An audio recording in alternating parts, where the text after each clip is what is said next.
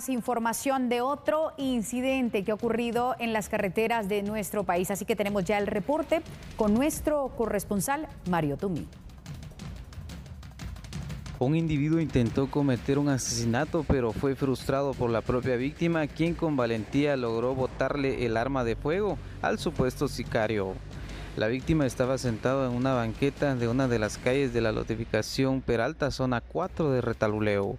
Una cámara de vigilancia de una residencia del lugar logró grabar el forcejeo que tuvo el malhechor y su víctima, quien sin dudarlo se abalanzó contra él, logró botarle el arma de fuego. El sindicado, al estar desarmado, optó por salir corriendo y se dio a la fuga.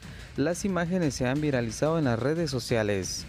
Al delincuente no le importó que a la par de la persona a quien pretendía asesinarlo acompañaba una mujer y dos niños. Las autoridades de la PNC de la Comisaría 34 el Ministerio Público e investigadores de la División Especializada en Investigación Criminal DEI rápidamente coordinaron acciones y por ende se desarrollaron tres allanamientos en inmuebles situados en el Cantón Los Patos y Colonia Municipal, zona 4 de la cabecera departamental. En uno de los inmuebles se logró la captura del presunto sicario. Este fue identificado como Gabriel Edilberto Méndez Ríos, de 22 años, quien fue trasladado a la subestación policial mientras que en los otros dos inmuebles se logra la detención de Vilma Romelia Ríos de 40 años y María Sandra Cuca de 58, ambas indicadas del delito de encubrimiento personal.